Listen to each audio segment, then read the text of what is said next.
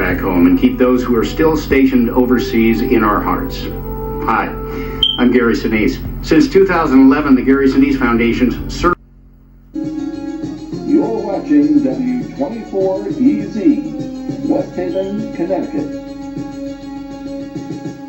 There's some things that we are astounded with. The title will sort of uh, give you an indication of what the program is all about. Terror